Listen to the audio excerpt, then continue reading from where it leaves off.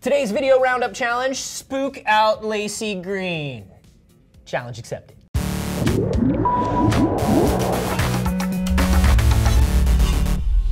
Hey everyone, I'm Laci. And I'm Anthony. And we got a couple of videos for you this week. Yes, specifically designed to freak you out, Laci Yeah. Green. There's some not pretty ones out there this First, week. yeah, and this first one is from Santo Antonio de Platina in Brazil. And Laci, please take a look at it raining spiders. Nope. Yes. Nope. Look at the spider rain. No, thank you. Yes. I'm, I'm gonna just not look at it. Actually. This is amazing. This is Anelosimus eximius. Wow, you said that really well. Thank you. I've been practicing in the mirror all day. I probably still got it wrong.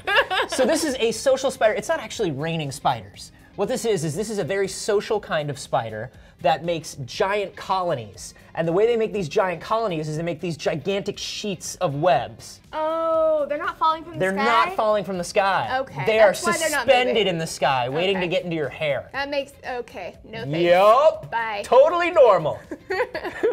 Our second video is really cool, actually. It's this enormous clam which appears to be eating salt on a tabletop. Mm-hmm.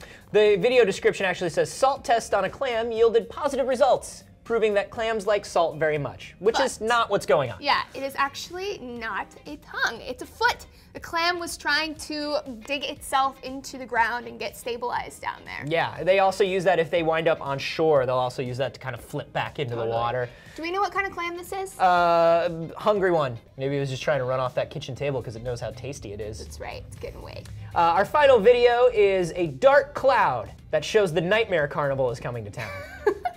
Do not go into the fun house in the Nightmare Carnival. I don't, I don't know if it's a nightmare It carnival. will show you your nightmares in the mirror. It looks pretty beautiful, actually. Okay, I so think you're being pessimistic. Yeah, it's actually a group of starlings. Uh, this is a murmuration of birds. This is like starlings do this uh, specifically to exchange information and to protect themselves. Makes sense. Safety in numbers, right? Is that kind of what's going yeah, on? exactly. So like if a hawk or a merlin is coming after them, if you're one bird, it's like I know what I'm doing. Yep. But if you're in a ominous cloud of birds, Right, you're safe. yeah, number one, it's probably a little intimidating, and number two, you can kind of move around, Yeah. open and close. For sure. creepy birds. Uh, they also do this to exchange information about food locations. So they'll see other starlings in the murmur with food and then follow it. Nice. Yeah, to see wow, where the so food's this is a nice little peck mentality that kind of keeps them all safe and fed. Yeah.